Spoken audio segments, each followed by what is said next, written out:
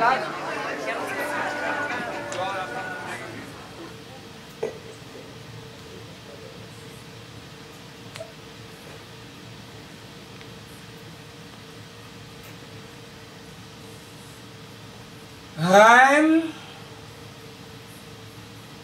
Oder nicht?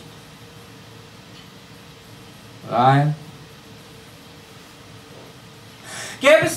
Irgendwen auf dieser Welt mit Restverstand und der Materie gegenüber durchaus aufgeschlossen, der mich beraten könnte, mir in dieser Sache zur Seite ständ, dass ich zu alter Stärke fänd und Sprachgewänder wieder schneidern dürft, mit Nadeln kalt wie Eskimo-Urin, bestückt mit Klängen, die so wohltuend wirken, dass aller Klugschiss und Korinthenkack sich selbst begrübt, dort im Abort der Redundanz.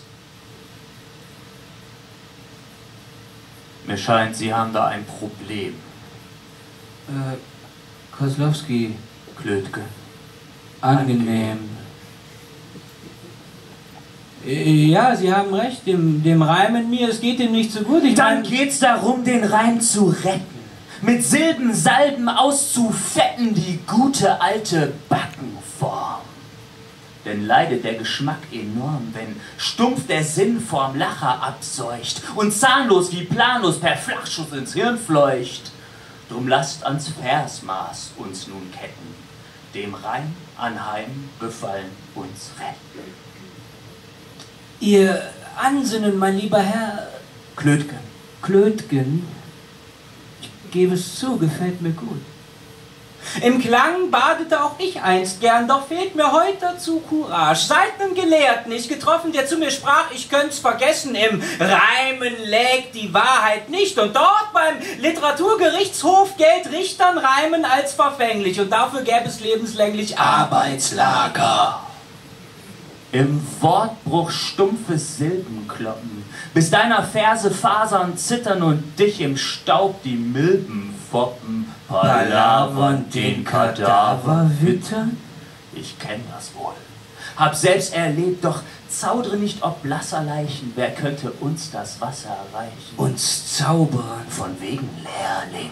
Erzähl mir nicht, dass da nicht mehr ging als Walle, Walle. Pille-Palle, Galle spei, ich kann nicht fassen, dass sie abseits pfeifen lassen. Des Reimes ew'ger Leierkasten treibt Zeitgeist geistlos auszurasten. Dem Feuilleton bloß Zeilenschinder sind wir der Dichtung Kellerkinder. Doch eines sei hier ausgesprochen und Geld als Wahrheit ungebrochen. Das strengstes Maß alleine birgt der Freiheit höchsten Grad und wirkt, wo Freiverskryptik Sinn verdirbt und aller Taten Drang erstirbt. Drum Schluss mit dem Geplärre jetzt.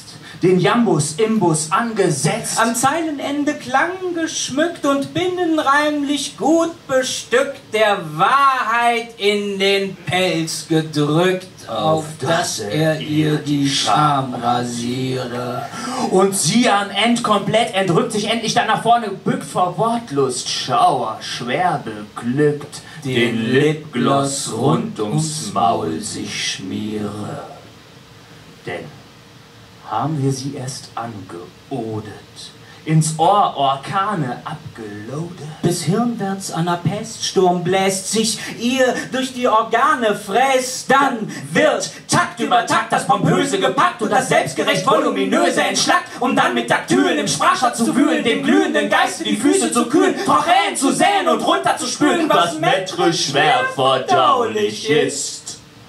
Und weil's dem Ohr erbaulich List am Ende ich, ihr ahnt es schon, elegisch noch das Distichon.